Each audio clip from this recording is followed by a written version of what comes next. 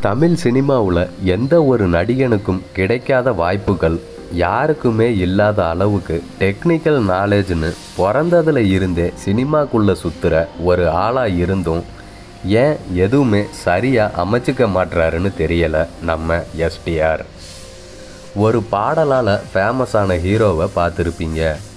டான்ஸுனால் ஃபேமஸான ஹீரோவை பார்த்துருப்பீங்க. ஒரு படம் மூலமாக ஃபேமஸான ஹீரோவை கூட பார்த்துருப்பீங்க.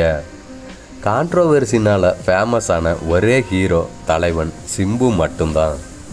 இந்த நிலையில் ஒரு வழியாக இழு இழுன்னு இழுத்து தற்போது வெங்கட் பிரபு இயக்கத்தில் மாநாடு படத்தில் நடிக்க ஆரம்பிக்க அந்த படம் லாக்டவுன் காரணமாக தாமதமாகுது.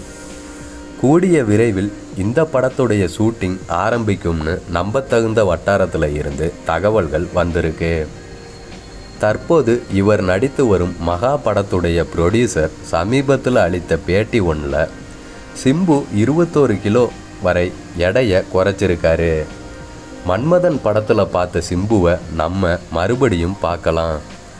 நான் உடற்பயிற்சி பண்ணுறத அவருக்கு ஃபோட்டோ எடுத்து அனுப்புவேன். உடனே சிம்பு அதை பார்த்துட்டு என்னோடய ஃபோனில் பொண்ணுங்க ஃபோட்டோ தான் இருக்கும். ஒரே ஆம்பளை ஃபோட்டோ உன்னோடது தான் அப்படின்னு கிண்டல் அடிப்பாருன்னு வெளிப்படையாகவே சிம்புவை பற்றி சொல்லியிருக்காரு.